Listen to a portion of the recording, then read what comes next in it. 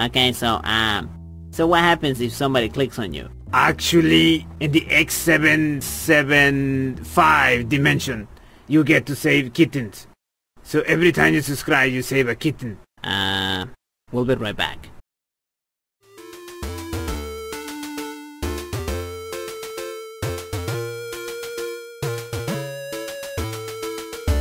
Hello and welcome to another video. My name is Sparckman. I'm an independent game developer and um, today we are going to create animated grid movement, if that makes any sense. Let me show you the demo. Here it is. I'm going to press right. You see that my character jumps. Down, down, down. Let's have a look at the assets we're working with. Here's my yellow spring. These are the animations, walking animation. And uh, these objects here, which we actually don't need but we're gonna leave them there anyways. You can see that this is just a background. You double click on it. You can see that this is a pattern background. I have four counters. Now you don't have to use counters. You could use variables if you wanted to. Now each counter has an icon. You can make different ones if you wanted to. There's the left counter is blue. Our down counter is going to be yellow. And our up counter which is going to be green for some reason. Now if you click on the yellow spring went to uh, movement. You can see that i'm not using any of the default movements. We're going to leave this as a static object. Let's go to the event editor and let's create our first action. New condition under mouse and keyboard. Repeat while key is pressed right and our red counter is set to zero which is our right counter so if this condition happens, we are going to change the animation sequence spring to walking. We're also going to add one to the counter. Add one. Okay, let's try it out. Press right. And you can see that he plays his uh, walking animation. The counter also gets set to 1. If the right counter is uh, greater than 0, then we keep adding 1 to it. Try it out. Press right.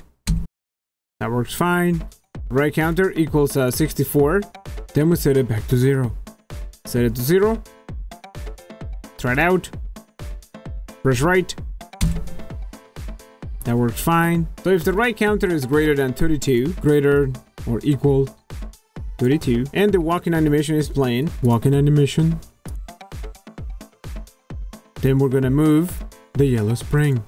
Select position select the yellow spring, drag this, and uh, 89 pixels is too much.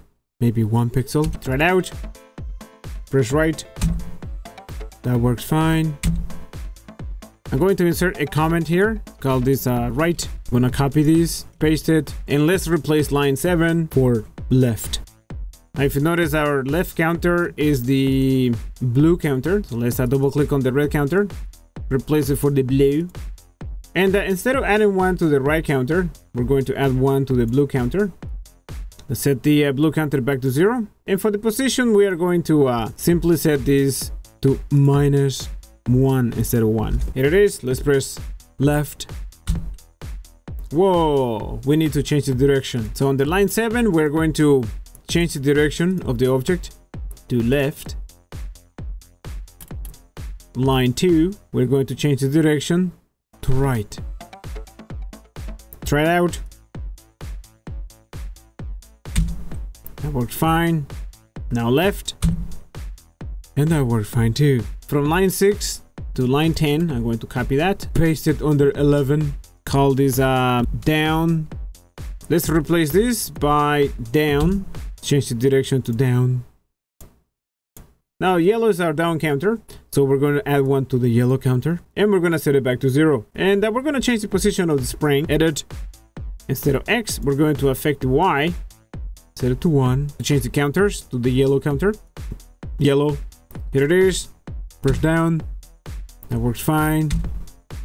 Press left. Let's do the last one. Copy this. Paste it on the line 16 direction change the counters for green counter to the green counter. The position to minus one.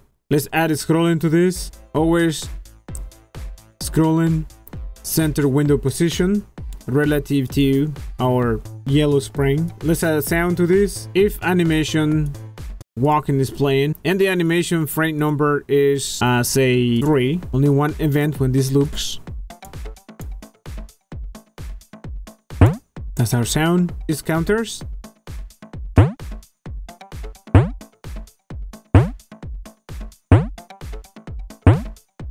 If you liked this video, give it a thumbs up. If you didn't like the video, give it a thumbs down. Check out my other channel, the Sparckman Vlog. Thanks for watching. Follow me on Twitter and subscribe to the channel. And I will see you in the next episode. Bye now. So it's time for coffee.